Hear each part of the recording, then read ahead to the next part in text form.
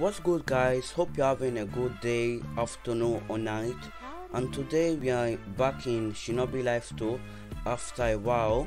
And as you read from the title and from the thumbnail, today I'm gonna be showcasing um, dust release or um, particle style, whatever you want to call it. It's a really good KG and at the end of the video I'm gonna show like tell my opinion about it. But before we begin the video if you haven't already please do like subscribe and turn on post notifications because it really helped me out and we are really really close to 100 subscribers. We recently hit 70 and we are at like 75 73 subscribers right now.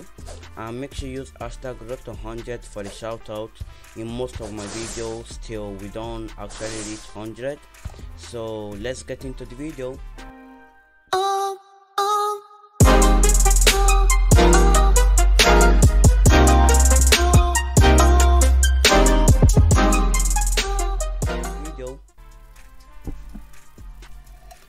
here we are guys and the, for the first move of uh, of um, dust dust release or particle style is particle style atomic array.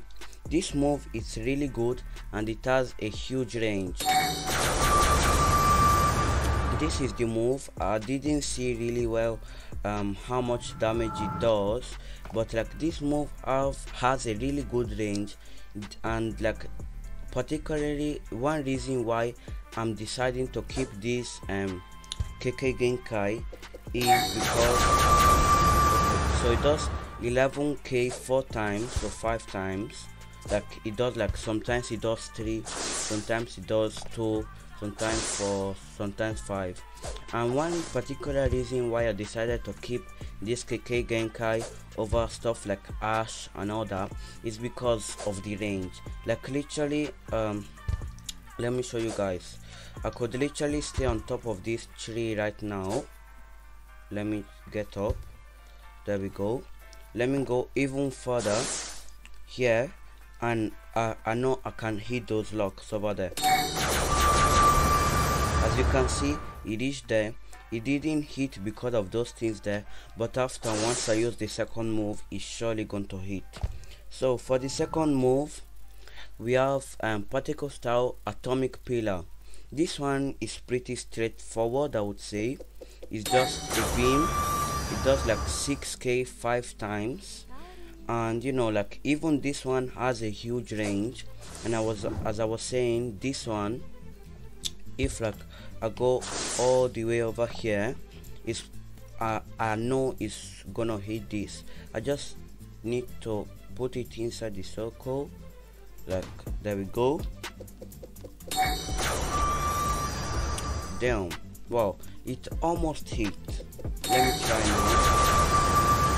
It's close to hitting you can see that like it hit over there so like it does have a huge range. When i was like testing this off camera it did it did hit but i don't know maybe like the um, nerfed it a little i don't know.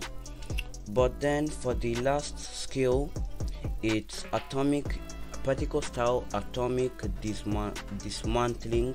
I think i can't talk today. And this does 24k if I see correctly and like it does like a small barrier that holds you in for like few seconds. And like this move it's especially good against bosses.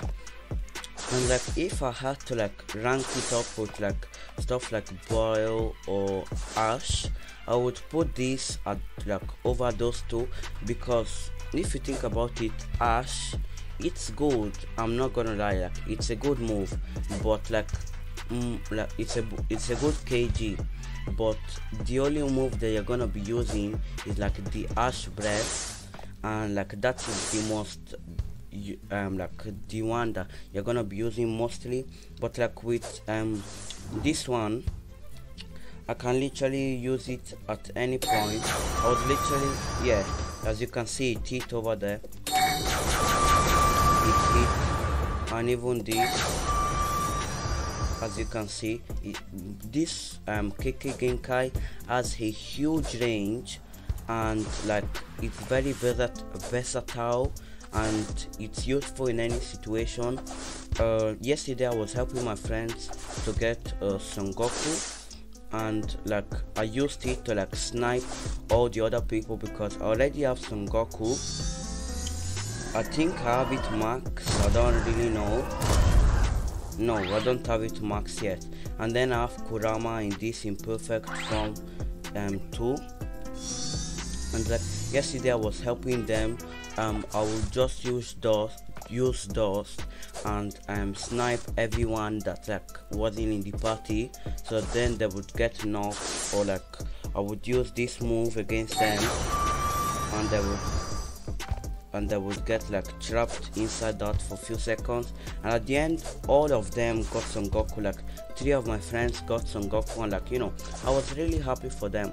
So my overall thoughts about uh, this Kekkei Genkai is that like you know it isn't one of the best obviously like maybe having something like Itachi and um, Mangekyou Sharingan or normal Sharingan it's gonna be way better but in my opinion like this Kekkei Genkai you know like it's really versatile and like maybe you're looking for something not to like you know fancy and all that but like you know it's still good.